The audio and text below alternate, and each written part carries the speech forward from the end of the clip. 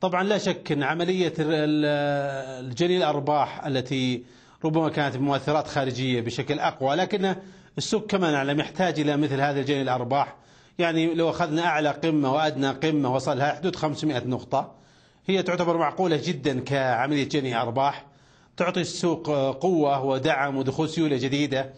لكن الملاحظ الأمس كان الارتداد لا شك إنه قوي يعني كان أمس نزول تقريبا آه، فوق ال 100 نقطة ثم يرتد للمنطقة الخضراء بحدود ال 50 نقطة. آه، اليوم أيضا يواصل عملية الارتداد لكن هذا الارتداد ليس مصحوبا بسيولة قوية. إحنا يعني 7 مليارات و100 اليوم آه، في نهاية الجلسة دكتور. نعم تعتبر سيولة منخفضة ولا يعني تعطينا أريحية كبيرة إلى أن السوق سيواصل عملية الصعود. لكن آه، ربما إذا لم تستجد يعني لم يكن هناك مستجدات أخرى آه، فيما يحصل في العراق أو آه، فربما أن يكون المسار الأفقي هو الأقرب لا سيما ونحن يفصلنا فترة قليلة قبل إعلان النتائج فالاسبوع القادم ربما نشهد بعض التحركات على بعض الأسهم التي دائما ما تكون مصحوبة إما بتوقعات إيجابية أو أن هناك عملية تسرب بعض المعلومات حول نتائج بعض الشركات ذات الثقل يمكن لها دور كبير نعم اليوم عينا على القطاع العقاري. دكتور السعود ما زال يواصل أيضا المكاسب بأكثر من واحد في المئة آه، في جلسة اليوم. عم نشوف نشاط قوي ما زال مستمر دار الأركان أكبر الناشطين. آه، التغيرات أو القوانين التي تم اتخاذها مؤخرا حول القطاع العقاري برأيك إلى أي مدى هي اليوم آه، عم تعطي ثقة بالنسبة للمستثمر للدخول على هذه الأسهم العقارية؟ سمعنا مؤخرا عملية ربما تأجيل فرض الزكاة على الأراضي البيضاء. آه، كيف تنظر إلى هذه القرارات؟ إلى أي مدى اليوم المستثمر عم بيتبعها فعلا وعم بيكون لها تأثير على نفسيته بالدخول على القطاع العقاري؟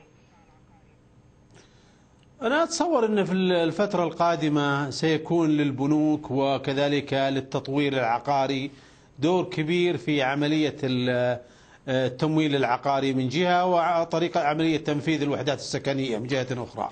فالمستقبل بغض النظر عن القوانين التي سوف تستجد لاحقا وما يعني آه، يخص النظام الرهن العقاري كل النظرة المستقبلية كما نقول أن القطاع الإسمنت مستقبليا سوف يعني آه، الطلب سوف يتواصل. نفس الشيء بالنسبة لعملية التطوير العقاري وعملية القروض البنكية كلها سوف تزداد في الفترة القادمة.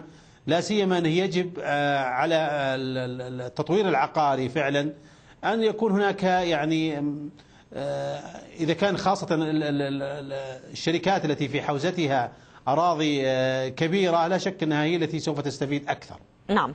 أه، بعدنا عم نتابع سهم تهامة للإعلان أه، أه، دكتور يعني التغيرات أو الهبوط اللي مستمر لعدة جلسات يعني بالنسب الدنيا ويمكن اليوم عم نشوف أعلى تداولات عم بحققها من أكثر من عام.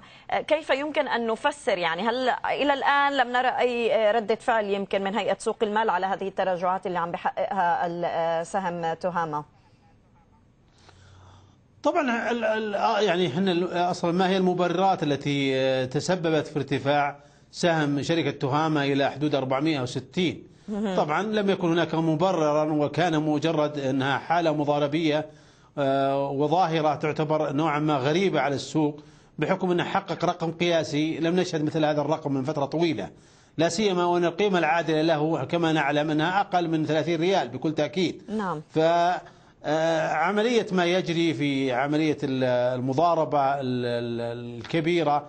آه، هيئة سوق المال في الآونة الأخيرة غضت النظر كثيرا وتساهلت في هذه الأمور. ووجدنا شركات تأمينية قبل شركة تهامة وصلت إلى أرقام كبيرة وإن كانت أقل من شركة تهامة ثم عادت التصحيح من جديد.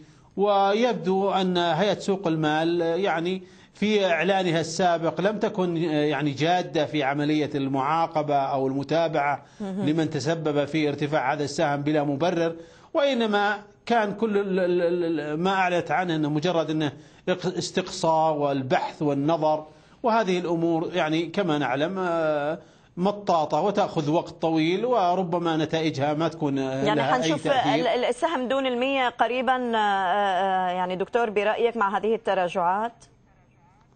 بكل تأكيد. يعني تصوري أنها سيشهد يعني تصحيح قوي جدا ولن يعود في تصوري للأرقام اللي حققها يعني ابدا إلا بعد فترة طويلة يعني. لأن عملية الآن المضارب الكبير اللي جالس يصرف بين الفينه والأخرى هو يبي يخرج من السهم وبالتالي سيكون السهم يعني وزع أو بيع على يعني أفراد تورطوا فيه ولحقتهم خسائر كبيرة. نعم. وهذه دائما نؤكد عليها يعني ظاهرة الابتعاد. حتى إذا كنت مضارب ابتعد عن الشركات المضاربية اللي قيمتها ارتفع ارتفاعات كبيرة. حتى ولو سمعت أن هذا السهم سوف يحقق أرقام فلكية المخا يعني نلاحظ الآن السوق.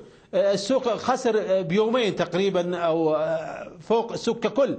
خسر بحدود 500 نقطة. صحيح. الآن يبغى لنا فترة طويلة حتى نقوم بعملية بناء ال 500 نقطة من جديد. فعملية الارتفاع لا شك أنها تأخذ وقت طويل. لكن عملية النزول ببساطة عملية النزول بيوم صحيح. واحد كما نلاحظ يحقق يعني الآن سهم تهامة كم نسبة الآن حققها انخفاضا؟ دكتور سعود لمتير أستاذ الاقتصاد بجامعة